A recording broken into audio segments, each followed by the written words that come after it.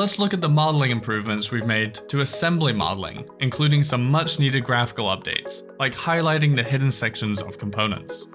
Inventor has enhanced its bolted connection functionality to now support assembly feature patterns, broadening the scope of design capabilities for users. This update allows for both normal assembly feature patterns and those within weldments to be utilized for bolted connections. It now accommodates all types of assembly patterns, including rectangular and circular, and the update ensures the compatibility with both by-hole and concentric placement methods, aligning with the functionality seen in part feature patterns, thereby maintaining a consistency and user experience across the different workspaces. A cylindrical envelope option has been added to create the newly appointed Oriented Minimum Bounding Cylinder.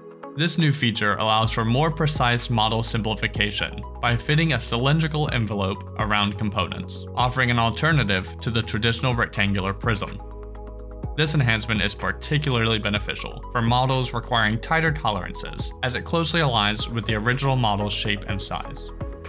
We've enhanced our visualization capabilities with the introduction of a new separate color scheme display. This can be toggled to various settings and also customized via the color scheme editor of any given in-canvas color scheme. Being a single designer in a 5,000 part assembly can sometimes feel as daunting as being in a 100,000 part assembly.